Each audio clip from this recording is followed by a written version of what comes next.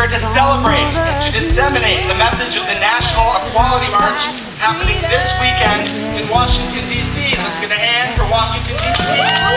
So today we're here to add our voices to the chorus heard throughout the United States for decades now, heard in unison, demanding full civil equality for LGBTQ people immediately, the right to work our jobs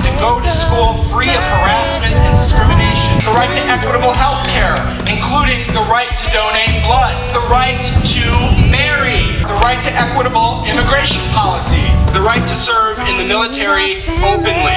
It remains legal to fire or to refuse employment to somebody for being lesbian, gay, or bisexual in 29 states. We live in an ostensibly progressive state and we still allow housing and employment discrimination against our transgendered brothers and sisters. This is not right and this needs to end now. So here's my marriage certificate. Uh, we were the first lesbian couple to get married in Pelham, Massachusetts in U.S. history. For those of us who want to get married, it really makes a difference. I have this piece of paper, and it's a legal document, and it's real.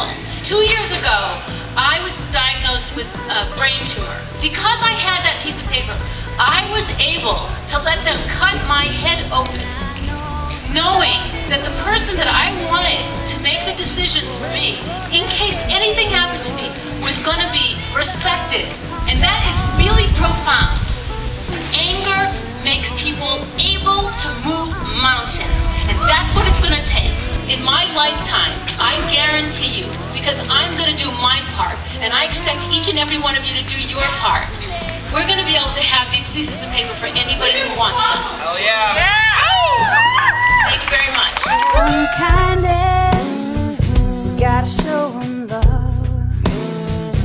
Gotta show 'em there's nothing here to be scared of. No, no, no.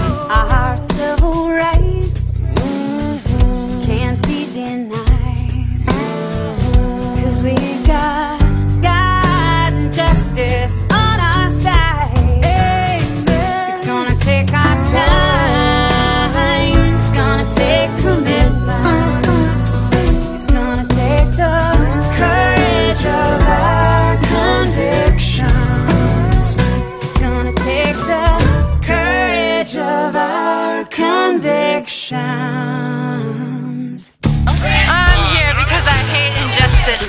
It's a travesty and a crime and a, an embarrassment that LGBT people in this country don't have equal rights. I'm a grad student and I'm gay and I just stumbled across this rally and I can't give up a good chance to be at a rally.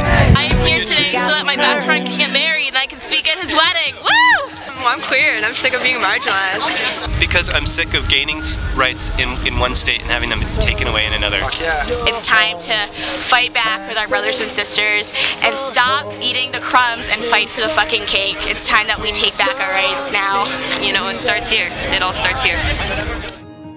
This is the first rally of the year. This is not the last rally of the year. This will not be the last time we need to demand our civil rights. But hopefully this is the last chapter of that sad book of U.S. homophobia. Yeah! Thank you for coming here today. Bring your energy to your classes and to your work, and we'll be seeing you real soon.